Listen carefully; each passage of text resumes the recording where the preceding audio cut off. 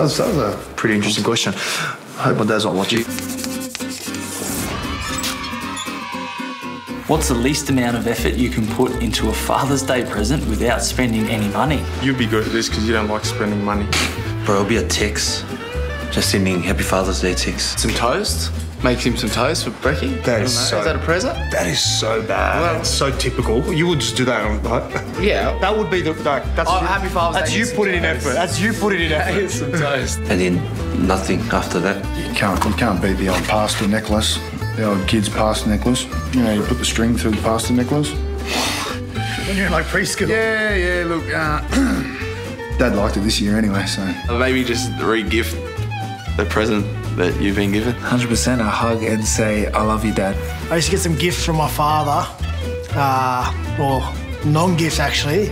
He used to say, mate, I'll give you my love. So for my father, he can get love sometime. That's that's enough. My dad loves golf, so I usually just give him some of the stuff that I get down, some hand me down. So I usually just give it to him then Father's Day. I remember I got my dad a pack of chips when I was, um, I was must have been like year six or something. I only had about two dollars in my wallet. I bought him a pack of chips, so it's probably an easy way to do it. Maybe just a text message is uh, the bare minimum you can get away with on Father's Day, but um, yeah, I wouldn't recommend doing it. Your parents just one time. Yeah. They're one time. So make some effort and give them some time. That's great. That's, man. that's, What do you? That's really That's deep. a good one. That's really deep. Your dad starts asking questions about his iPhone. How do you get out of this conversation? Oh, it's torture.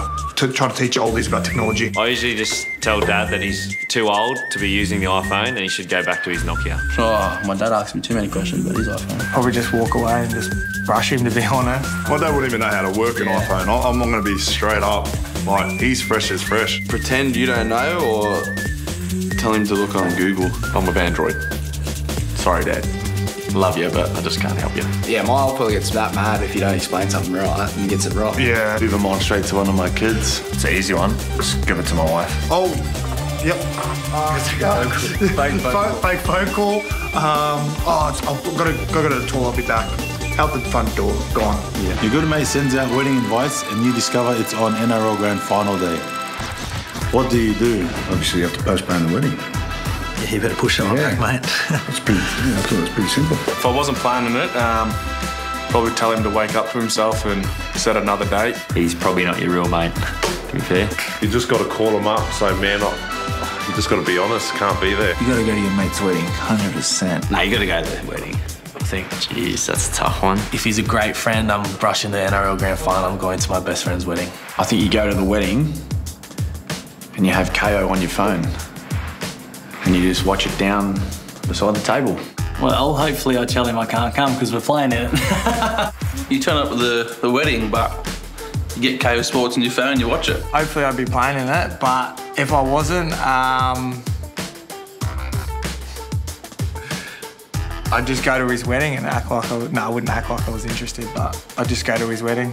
But the funny one is actually, Chico had his wedding on New Year's Day, so it ruined our New Year's. We had to go to his wedding. think you go to the wedding, but you make sure you have the Kayo app and you're watching the NRL through that. You know the drill. Like, subscribe, and you'll always get the latest from Kayo.